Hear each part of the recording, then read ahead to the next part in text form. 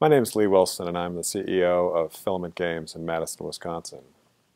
I'm a lifelong gamer, and I actually, as a teenager, played dungeon crawlers on a paper-fed teletype.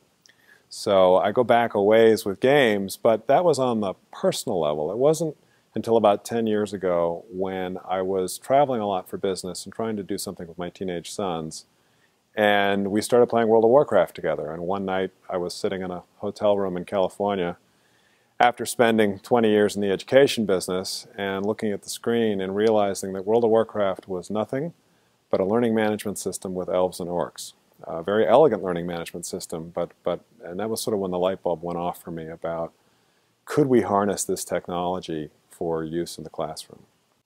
I was at Pearson at the time and won a grant to, uh, an innovation grant at Pearson to start exploring the, the area of games and learning.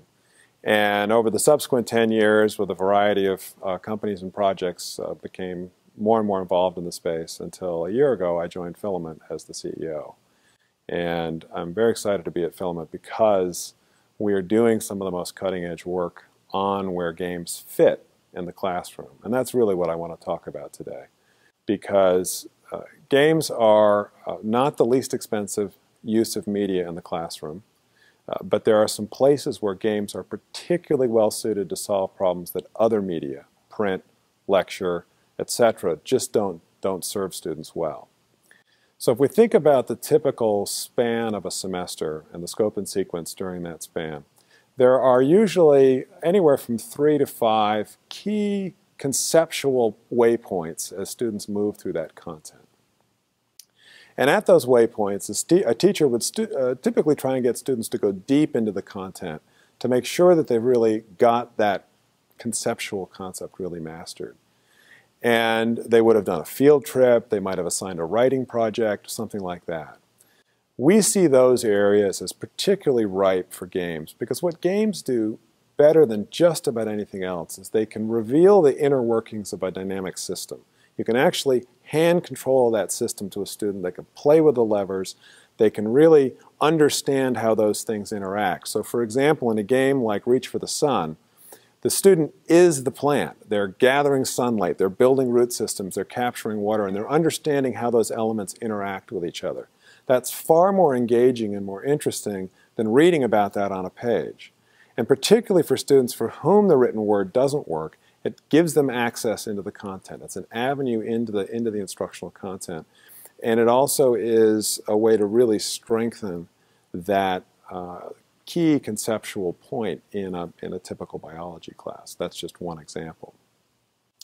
The places that we see, you know, so we've you've identified one of those places, then the things that a game can do that are particularly strong are it can reduce costs, so we can have students do something that's very expensive, like run a presidential election campaign, which one of our games allows you to do. Uh, but you can do that in a, in a classroom setting without, without incurring that cost. You can compress time. So Reach for the Sun game that I talked about, a plant's life cycle lasts an entire growing season, which is even longer than a school year. We can actually take that and make that happen in 20 minutes and then also give the students in that class period time to reflect on what happened in that game. So we've compressed that time and still revealed the inner workings of that system. Another area where games are very useful are uh, where things are very dangerous. So uh, we didn't write this program, but uh, one of the favorites in our office is a game called Kerbal Space Program, where students build rocket ships and launch them and watch them blow up and have astronauts die and all kinds of fun things. Um, but that's a, that would be a, you know, even just doing model rockets in a classroom is a very expensive thing, much less designing full-size, full-scale rockets. So that's a way of allowing students to have that experience without incurring that cost. And then the last area that games do well, uh, and it relates back to that kind of systems concept, is just revealing abstract ideas, making them concrete, making them real. Our game designers like to say that what they do when they set out to design a game is they'll look at a learning objective They'll find the verbs in that learning objective and then they'll build a game around those verbs so that the thing that you're doing in the game is actually the learning objective. That, that abstract to concrete translation is actually where a company like Filament really adds value. So I've been incredibly uh, blessed to, to be able to join Filament and to be part of an incredible team of very creative people helping to solve that problem. And it's a really fun part of the education business to be in.